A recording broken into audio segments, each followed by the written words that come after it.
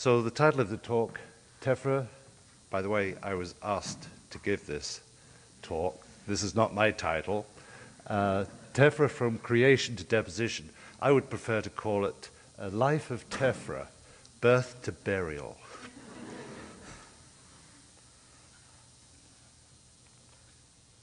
All right, get this sorted out. Sigurdur Thorarinsson, he was the pioneer for Tephra chronology.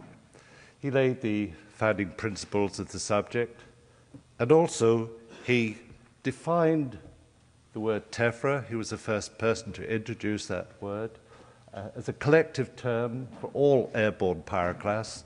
Is a term that doesn't replace any of the pre-existing terms. Uh, it complements it. And we still use terms like ignimbrite, welded tuff and pumice in the way we originally defined them. So it's an umbrella, tephra is an umbrella term, and it is now in very widespread use, as we all know. Thorarinsson defined also tephra chronology in a very simple way, uh, geological chronology based on the measuring, interconnection, and dating of volcanic ash layers. In today's parlance, we would say a geological chronology based on characterization, correlation, and dating. And he recognized clearly the importance of these tephra layers. He actually did his PhD in um, the field of palynology, where he was looking at uh, post-glacial uh, vegetation history in Iceland, and came across all these tephra layers and immediately realized the importance from the stratigraphic point of view. And so, he, as he says here, uh, a momentary uh, formation, very wide dispersal, characteristic appearance, make good geological guide horizons. Tephra chronology can be conveniently broken down into two uh, uh, fields, if you like, tephrostratigraphy and tephrochronometry. Uh, these are the fields that very much embrace tephrostratigraphy, stratigraphy, sedimentology, volcanology, mineralogy, petrology, geochemistry, and then under the tephrochronometry, the various forms of dating methods and also importantly, paleomagnetism. So the practice of tephrochronology embraces uh, many of the branches of earth science. And it follows, therefore, that whereas tephrochronology requires the expertise from these topics, it can be a two-way street that tephrochronology also can contribute uh, importantly to these separate fields. And that's uh, obviously the, one of the main thrusts of this meeting, as Marcus says, is to try and develop the connections and potential synergies of tephrochronology and physical volcanology and other branches of earth science. So in this example, we, are demonstrating tephrochronology as a two-way street with physical volcanology. We talked about this yesterday in our discussion at our last stop, and this just reiterates what we mentioned there, that many of the characteristics of a volcanic eruption can be derived from physical properties of fallout area. Properties like thickness, grain size, maximum size of clast, density, porosity, uh, component analysis, and so on. That we can, from this type of information, which physical volcanologists collect, but also in part tephrochronologists too, we can derive very much information on the nature, characteristics of the eruptions. And a point we made yesterday, which I think is really important, is that physical volcanologists tend to work of necessity in the source areas, uh, probably no more than 150 kilometers from source. And the tephrochronologists typically are working in very distal regions, 500 or over 1,000 kilometers from source. So that on occasion, these data sets can be linked to get a better idea of an eruption. And I'll give you an example of that from my own research. Uh, we've been doing work over the last oh, 20 years or so in Yukon and central Alaska on distal tephra beds. And around the Klondike goldfields, there's a tephra bed that's very thick and widespread throughout the Klondike. We call it the Dawson tephra, and we published a few short papers on it. Um, the volcanology group in Anchorage um, obviously became aware of that, And they'd been working at that time on a volcanic region near Emmons Lake, and Christy would know all about this. And they felt, given the age of what they were working on and what we described in the Dawson City area, that we may have a distal correlative. And so I sent them a big bag of, the tephra.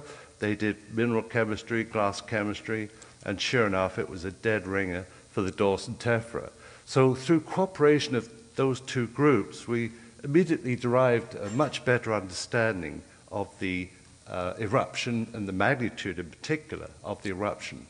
And as you can see from this photograph, the tephra in the Klondike goldfields is here about 25 centimeters thick. It's reworked, but all over the area, this tephra is very thick, widespread. So it's a major, large magnitude eruption to which both physical volcanologists and tephrochronologists have contributed to get a good understanding of that eruption.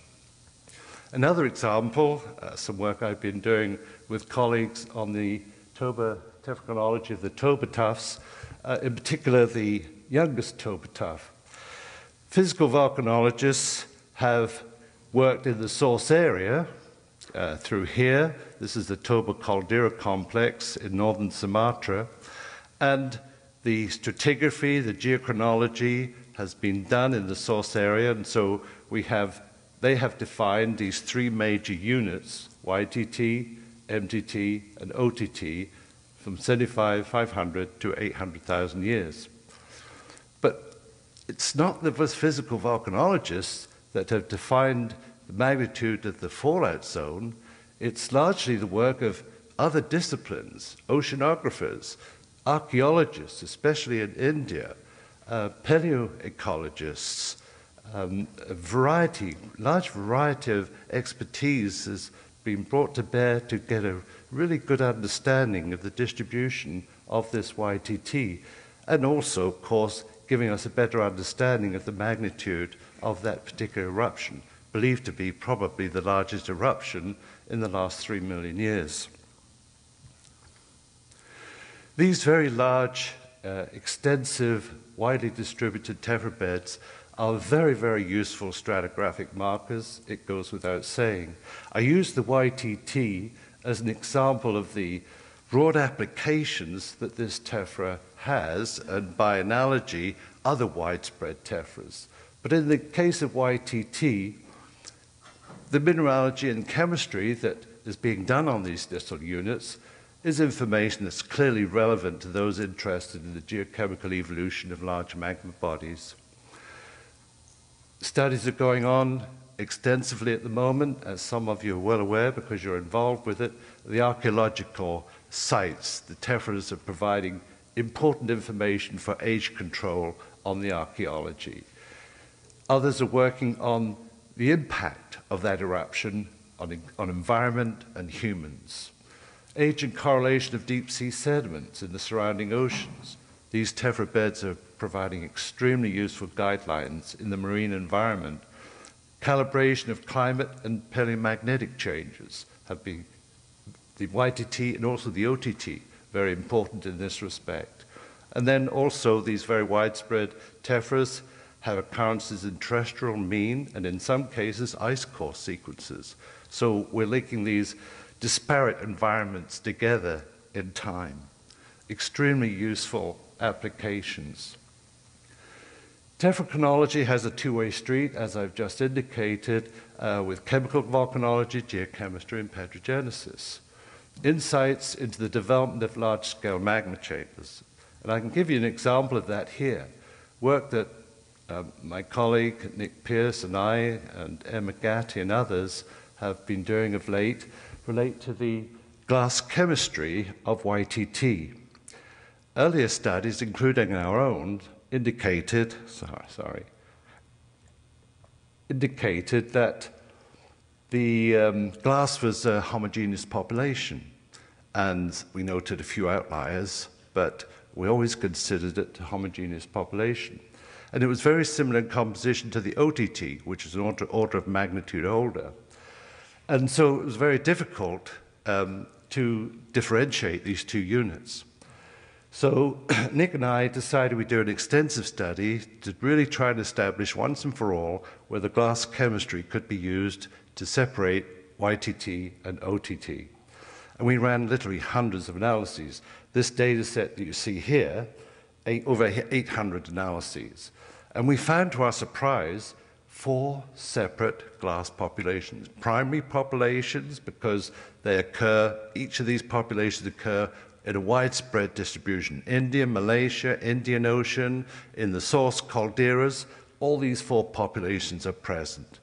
So this obviously informs those that are interested in the nature of the magma chamber and the evolution of the magma chamber in terms of its chemistry. Again, the two-way street between tephrochronology and uh, volcanology. Importantly, too, it's been realized by a number of workers looking at the marine sedimentary record that tephras are extremely well preserved in the marine environment. Um, work of Ninkovich in the 70s, of um, Scheidegger in the Pacific Ocean, North, North uh, East Pacific Ocean in the 80s, and the ANU group, uh, Bryant and Angeles, working just south of uh, Japan on the, deep sea sediment, uh, tephras there, they have showed that these tephras are preserved in a pristine condition, and therefore you have these very long records going back, in, in the cases our show, over 30 million years, where you have a record over this long period of time of magma compositional changes, uh, tectonic changes, all preserved in this tephra record. Let me illustrate this by one example. This is the work of Bryant and others from ANU. They, they looked at the Izu uh, Bonin volcanic arc here, just south of Japan, and also they um, had uh, tephra samples from the DSDP cores here in the Mariana Trench. And the record they show is that in the Izu area, this light blue trend, this is potassium oxide against silica here, and you can see you have a low potassium trend here that's very stable over the last 36 million years. And note, note the linear trends here, because uh, what does that linearity mean in terms of condition of the glass, the quality of the analyses? So we start, the, the Izu-Bonin looks very stable, and the, the interpretation is that the, there's been a very stable tectonic environment over the last 36 million years in this particular arc. But when you look at the Marianas data, they have three uh, trends on this uh, K uh, silica plot. They have this orange trend, which is the greater than 30 million years, and you can see a low potassium trend. And then from 30 million years to 13 million years, you see a high potassium trend. And then younger than 6 million, you have more intermediate values of potassium. And these very significant compositional changes are related by these authors to tectonism in the um, Marianas Arc region. So these tephras are giving very uh, useful information in terms of the long-term chemical evolution of magma systems associated with these volcanic arcs, and also, in this case, giving us some idea of tectonic stability in these volcanic arc regions. So now I'd like to begin the tale of tephra, if you like, uh, focus on these silicic subaerial pyroclastic eruptions. And here then I'm titling this, this is the creation event. We have a magma body that uh, starts to rise through the crust. This may be initiated by earth movements or the injection at the base or a lower down of basaltic magma. For one reason or other, uh, the magma starts to rise, obviously promoted by buoyancy forces. And as the confining pressure drops, the volatiles in the melt will exsolve, and we'd have these gas bubbles developing in the magma. As again they continue to rise, confining pressure drops, more and more gas bubbles form as a result of exsolution, and the pressure in these gas bubbles will tend to increase as the confining pressure drops. But it's limited by the surface tension between the melt and the gas phase, and also the fact as the volatiles dissolve out of the melt, the viscosity of the melt is also increasing. So there are these resistive forces that do limit the growth of these bubbles. But eventually, as they rise to the, up the, uh, through the magma, they will fragment. And they will fragment, according to studies that have been done, when the volume of the bubbles to melt is about 70%. Then you'll get fragmentation. And that releases, of course, gas um, into the upper part of the magma chamber or into the volcano, assuming it's got a sealed cap. Gas pressure builds up. Um, tensile strength of the cap rock is um, exceeded. Fracturing takes place. And then you get this catastrophic expansion of gases which drives the eruption. And we have here the, the gas jet thrust zone of the eruption column. So that the thermal energy of the magma is being converted into the uh, kinetic energy of the eruption through the expansion, the explosive expansion of these uh, gases. So Tephra is born. And, sorry, I'm missing a, yeah, this is the next slide. So we, we continue to look at the eruption column. Uh, this is the gas thrust region, the convective zone here, where the air is being sucked into the hot um, uh, column here with the gas and uh, the um, tephra material. And it goes up into the troposphere, being supported by buoyancy forces. And then when it reaches the tropopause, typically, um, because temperature will start to increase at this point, buoyancy forces reduce and it will start to, the eruptive column will start to splay out like an umbrella, being called the umbrella region. And here's an example from Parícutin, volcano, photograph taken by Ray, Ray Wilcox in 1947. And you can see here there's a small gas thrust zone, then the convective region, and then here the mushroom umbrella region, if you like, with the tephra fallout coming from it. This is a spectacular photograph of the eruption of, Redoubt volcano in 1990. And you can see here the uh, convective zone, the mushroom region here, uh, well developed, and the annular cloud that formed as a result of the uh, punch of the eruptive column into the atmosphere, lifting the uh, atmosphere here and condensing to form this annular cloud. And then looking at Andre's work on the St. Helens eruption, this is uh, the diagram of the eruptive column of the mushroom region. And you can see here that that mushroom region developed at an elevation of just below about 20 kilometers.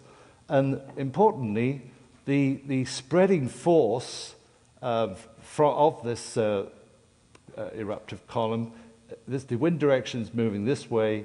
It's, move, it's being opposed by the wind, but it's strong enough to force the cloud in, into the wind, as it were. And the stagnation point is about 25 kilometers from the vent. So you get tephra fallout upwind from the vent in, these, in this situation.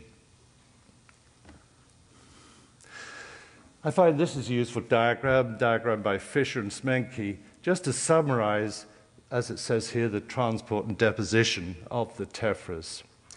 The eruption column uh, through here, and this uh, is, would be your mushroom, uh, the um, umbrella region, and the, the eruptive column is being transported by wind, and as it does so, sedimentary fractionation is taking place, the denser material, the larger material coming out first, and then the long distance transport where the material is held in suspension by turbulence, that then carries on downwind into the ultra-distal zones. It is mostly this very fine uh, glassy material along with um, sulfuric acid aerosols and other uh, chemicals. So this is the main eruptive column and transport direction, and then, of course, the tephra fallout from it. The eruption, uh, commonly you get these uh, collapse of the eruptive column as the density of the column increases to the point where buoyancy forces and the velocity uh, of the eruption through the atmosphere decreases, uh, the column collapses in part to form pyroclastic flows or ignimbrites, as you can see here. Uh, these ignimbrites um, partly become fluidized as a result of the expanding gases, and the fines get elutriated up into the upper part of the flow, and you get convective clouds of vitric uh, ash um, developing above the flow. And these, of course, are the coignimbritic um, ash or tephra deposits. And many of these large eruptions, like Toba, uh, like the big Yellowstone eruptions, uh, which have these huge ignimbrite flows, are believed to have been associated with these very volume, uh, very volume-rich um, coignimbritic clouds that uh, had wide, very widespread distribution. Ash flows or pyroclastic flows also develop as a result of so-called boilover. This is where you have an eruption where there's no eruptive column, there's just a boilover of the gas and its contained tephra, uh, forming a density, density current that uh, travels, uh, hugs the landscape, uh, and eventually is deposited. Then the small, very local um, pyroclastic flows associated with dome collapse. So here then we have the fallout deposits. Here we have the pyroclastic flow deposits. I'm not talking about here where you get admixture with water. These uh, column collapse and the resultant pyroclastic flows uh, can, these flows can be very extensive. Uh, these columns uh, can be 25 kilometers, 30 kilometers high. And when you have collapse from such high elevations, it imparts a lot of kinetic energy into the flow that enables these flows to ride over um, topographic highs several hundred meters high. Uh, most of the deposit being focused in the valleys because it is a density current, but some of the finer vitric stuff may well coat some of the uh, topographic highs. And here, again, this is a Mount St. Helens uh, event. Um, very brave photographer took this, obviously, but these are the Douglas fir that we saw yesterday to give you scale. And here you have the ash falling out, or the tephra falling out of the eruptive uh, convective zone of that eruption and eventually sedimenting to form pyroclastic flows. So quickly, let, us look at some of these distinguishing features. Airfall as opposed to pyroclastic flow. Mantle bedding uh, in airfall, well sorted, planar internal stratification. These are the dominant uh, characteristics of airfall tephra. I'll show you images of these in a minute. Pyroclastic flows, well, they are density currents, so they're going to hug the low areas of the landscape, fill valleys and depression. If they're extensive enough and thick enough, they'll bury entire landscapes. Uh, poorly to massive sorting, sometimes gas segregation pipes, carbonate wood, uh, thermal oxidation giving a pink color. They may well, may well be welded with fiamme, and also they'll take a thermal remnant magnetism if they are in emplaced hot, as they are, of course. They pass through the Curie point and set the Earth field direction. Mantle bedding, classic example. Here again, is St. Helens deposit, and you can see the internal planar stratification. There are three eruptive units here. Yesterday, we were talking about, uh, in our discussion period, uh, the lithics, uh, here you've got these three graded units, lithics at the base, and then pumice uh, concentrated in the upper part of the bed. Lithics, and then the pumice rich. Pumice blocks being larger right near the top of the flow. Probably again, um, you're looking at density differences here. And uh, accretionary lapilli, very characteristic of airfall uh, unit, but not restricted. You can get these also in pyroclastic flows, but they indicate interaction with water. And this is a bed locality. Andre can tell us what the stratigraphic units are, but I show it here because you've got the classic example of an airfall unit showing really good sorting, Um, you've got some indication here of uh, planar stratification. You have this fine, fine vitric cap that Marcus mentioned yesterday in the field, um, which is interpreted as being the fine vitric material that uh, settles out of the atmosphere and it, it uh, accumulates on top of the lapilli material, and then this pyroclastic flow came in.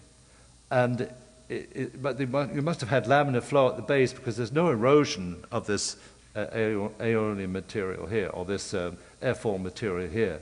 And it shows the massive structure of the ignimbrite, very characteristic.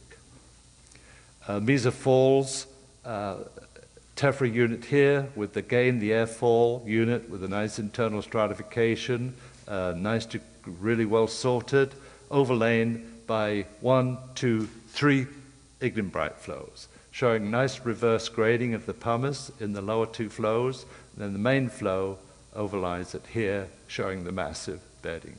Mesa Falls, of course, is about 1.2 MA and then these ignimbrites can be welded. Here's an example from New Zealand showing these steep cliffs, uh, welded uh, ignimbrite. And the truck here gives the scale. What the tephrochronologists, I imagine um, geochemists too, are looking for are these non-welded basal zones of these welded ignimbrite sequences, because that's where the chemistry is preserved. Um, the stewing that goes on in the ignimbrite flow alters the mineralogy, especially the glass, and it's really not useful for tephrochronologic purposes. And so for dating and for uh, tephrochronology, these non-welded zones, which are not very thick, if they're preserved, they're the things to go for. And this is the classic eutaxitic texture of the ignimbrite showing these amazing uh, fiamme from an example in Ethiopia. The nature of the glass shards, this is typical bubble wall shards, uh, magmatic uh, in origin. The, some of the magmas, of course, are volatile rich, and you get these more pumiceous um, pyroclasts that are generated. And here, I, I, believe we might have what I call a phreatomagmatic uh, unit, where the magma is interacted with water, and we see this very low vesicular uh, glass, but it, you have these beautiful planar structures cutting right across the, the, the blocky uh, glass material. And this, I think, might be an indication of a phreatomagmatic origin, the blocky nature of the shards and these planar surfaces that traverse the vesicle. And another characteristic uh, feature you find in airfall units are these um, aggregates, very, very common in supervolcanic eruptions. Um, it's believed that in the fine grained um, ash cloud, van der Waals forces operate, and you get the uh, attraction of these small particles to one another to form these aggregates, which then, of course, settle out of the eruption cloud and uh, accumulate on the surface. And they're preserved uh, in the, in the uh, record. This particular example is Yellowstone hotspot track 10 million years old material, and these uh, aggregates are very common. Long distance transport of tephra, depositional environments, and preservation potential. The first slide shows a summary of the work that Sean uh, Pyne-O'Donnell and his uh, colleagues are doing, which I think has really altered our um, view of, of how widespread and useful these tephras could be for long distance correlation. Uh, uh, Sean and his colleagues have found tephra and peat bogs in this area here that come from Kamchatka, that come from the eastern Aleutian Arc, that come from the Wrangell volcanic field, that come from the Cascades, all preserved in peat bogs through, and lakes through this area. Also, some of these tephras are in the Greenland ice core, and also some have been found in Ireland. So we have this amazing condition now where we can actually use tephra for intercontinental correlation, which is a thing that one dreamed about years ago, never thought thought would happen. But the cryptotephra story is really adding a new dimension to the um, benefits of tephrochronology and also volcanology because it's telling us more about the distribution and magnitude of these eruptions. We mentioned earlier that the deep sea uh, environment is one that's ideal for tephra preservation. And here is a sequence of late Cretaceous tephras preserved in Arctic Canada, and they're interbedded with black shales. But note, there is no disturbance of these beds in terms of bioturbation. There is no infauna in these sediments. The structural arrangement of the tephras are perfectly preserved. The composition is from rhyolitic to dacitic, um, very reasonable looking analyses. I've done fission track ages on these, getting a late Cretaceous age, 65 million. So these are very well preserved tephras that are 65 million years old in this marine environment. Tephras can also be preserved in these high energy environments. Don't, when you see a gravel, just don't walk away. Oh, there's no tephra there. You can find tephra, as we have found in the Klondike goldfields at a number of localities where you've got uh, sand and gravel sequences. And tephras are commonly preserved in these sandy uh, pods within the gravels. I, I, could show you many examples of this, uh, but gravels environments, high energy channel environments, you do get pres- a tephra preserved. The issue of reworking is one we always have to work with, whether you're a geochemist, a tephrochronologist, or whether you're a geochronologist, because tephra characteristically is contaminated. It has contaminants derived from the vent walls, xenocrystic material. It has contaminants that once it's been emplaced, it will pick up detrital material and deposit it um, downslope somewhere, but it has contamination. And that's why in tephrochronology and obviously in geochronology, you have to work with these grain specific techniques. Reworking obviously is very clear when you have deposits that are over 700 kilometers from the source vent, which in this case is the Yellowstone hotspot track, and you have these tephra sequences three meters thick. Well, obviously there's a rework. You see this by the bedding, uh, the ripple structures that are common through here. The, the massive stuff is about one foot below where these uh, guys are digging, and uh, that's the, where the original material is. So reworking, obviously, really readily recognized by the uh, unusual thicknesses.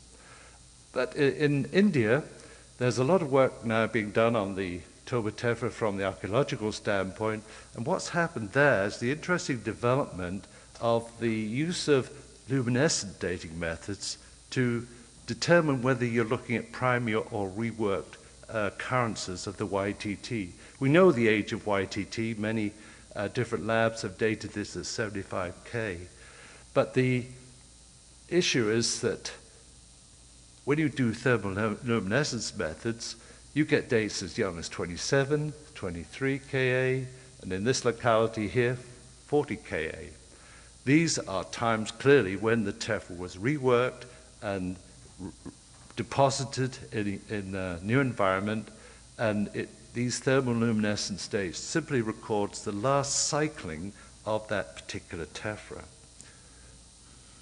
And then finally, the alteration of volcanic ash. Yes, I've been commenting on the fact that in the ocean environment, the deep sea record environment, we do get these um, situations where very old uh, tephra beds have been remarkably well preserved.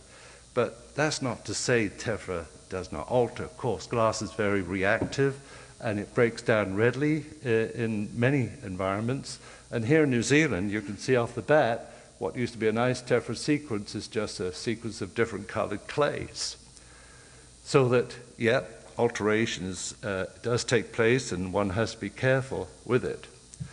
Um, it's a tephra I've worked on recently, a Middle Eocene unit in the Northwest Territories of Canada, and it's, uh, we dated 38 million years old by fission tracks, and you can see that it's altered, it's got what I call altered skin. I think this is interstratal solution that's taking place. And, but when we do probe analyses on these glass, looking at the interior shards, you get very respectable analyses. There are two beds very close to one another, and you can see that these are very respectable uh, rhyolitic glasses. One thing pointing out here is that, yeah, the sodium, the dispersion of the sodium data is high here, um, that being the most difficult element in terms of its mobility. But even in this example, it's a very respectable um, standard uh, deviation here. So these analyses look very respectable. And the, that's the beauty of the probe methods that you can avoid these skin alteration effects by probing in the center of the shards. There has been a reluctance on the part of some workers to avoid the use of alkali elements in the uh, characterization of tephras. And, and I, think, I think that's a good thing to be very cautious. But I think uh, to make a decision a priori that this is not a good thing to do is wrong. Because in many situations that we found, and I work certainly with the Yukon and Alaskan distal tephras, we get very tight distributions showing um, very tight compositions, indicating clearly that sodium and potassium here are giving us real true values. And the same with this unit here. So sodium potassium as elements in characterization can be very useful. And my last slide shows again the work of Ninkovich on these deep sea sediments. And one thing it shows is that when glass shards hydrate, and here you can see values of uh, this is the water, and by difference, probe analyses, it's at 4 to 5 weight percent water in these deep sea tephras here. But the, these are the anhydrous analyses, and you can see here that, for example, silica uh, tends to 77 to about 75. Again, these are anhydrous results. Um, calcium, very, very limited, uh, showing very consistent data. Sodium, again, remarkably, very consistent data. This stuff here is 7 million years old. This stuff here is about uh, 400,000 years old. So this is the top of the core, the lower part of the core. And so these analyses again indicate that we've got good chemistry on these distal tephras in these deep sea records, and that the hydration of these glass shards is not affecting the element concentrations. That's it. Thank you.